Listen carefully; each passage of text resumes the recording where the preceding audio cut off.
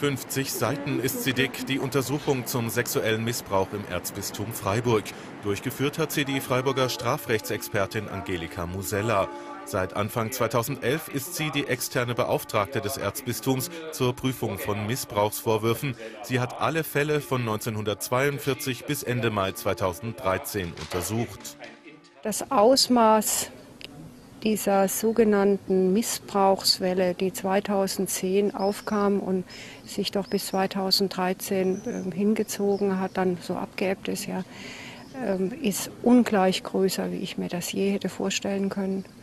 Und die Folgen für die Opfer sind ebenfalls unvorstellbar. Ich hätte nicht gedacht, dass ähm, die Opfer wirklich äh, bis heute zum Teil nach 30, 40 Jahren noch so unter den Folgen leiden.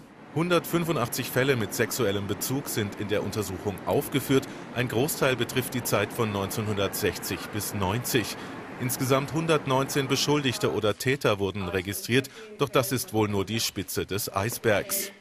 Wir arbeiten ja auch mit gesellschaftlichen Fachleuten zusammen und äh, überall wird davon gesprochen, dass die Dunkelziffer hoch ist.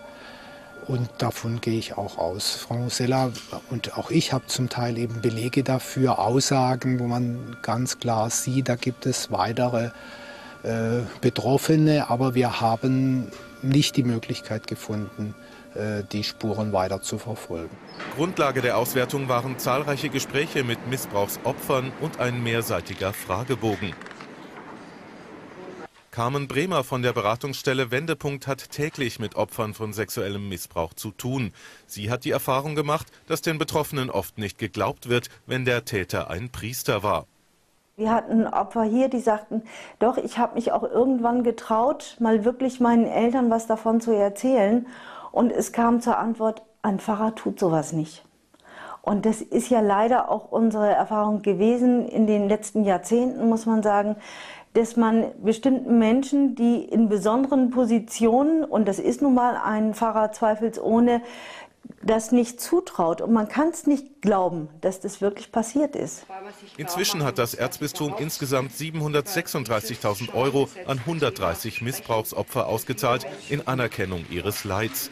Weitere 170.000 Euro wurden für Therapien übernommen. Die Vergangenheit ist aufgearbeitet, jetzt gilt es, weitere Missbrauchsfälle zu verhindern.